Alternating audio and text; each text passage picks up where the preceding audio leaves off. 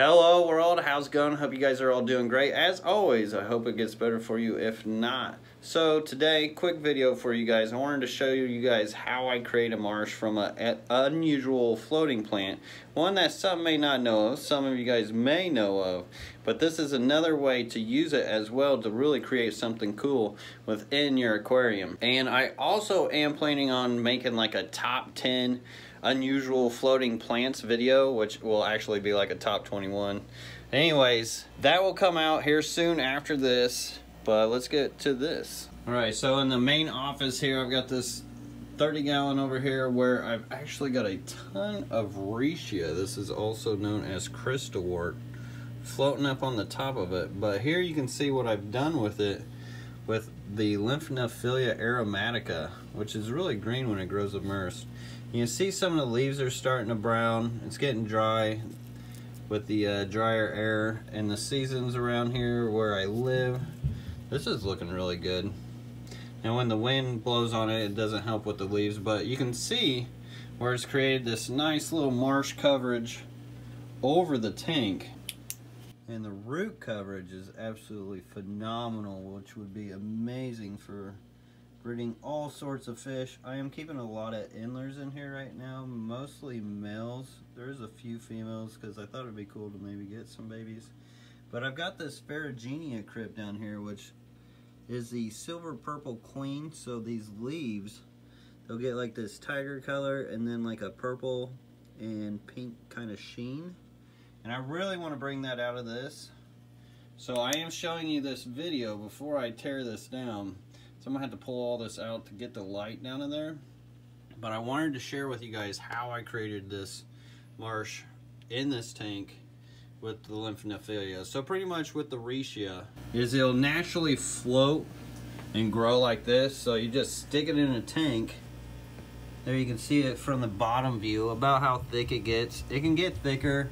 Uh, granted, you give it CO2, it'll really get thick. It loves CO2 the pearling, the bubbles.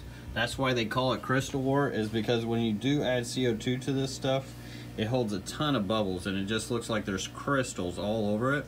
But you can keep it without CO2. These are no filter, no oxygen line, no CO2, and it will grow without it. But what I'll do is see how it just grows as like a media. It's like a sponge.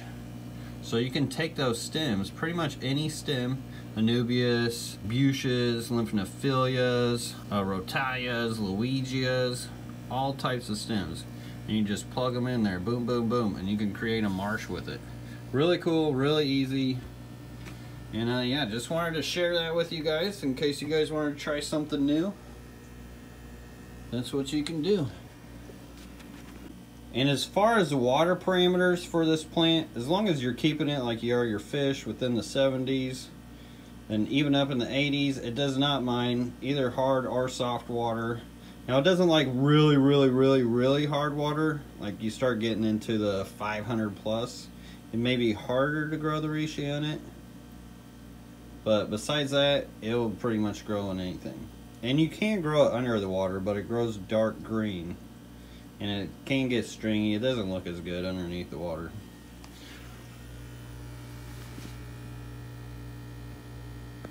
Actually, I've got some right there. It's hard to see in the middle. Granted, it didn't have much light. The zoom is not the best. Wow, that looks really crazy. Almost looks like it's colored in. Look at that. Like a drawing. With the zigzag leaves of the uh, needle leaf fern here. That's how it grows underneath the water. I'm not a big fan of it. Especially when you can use like a moss or something like this. Or this. Or this.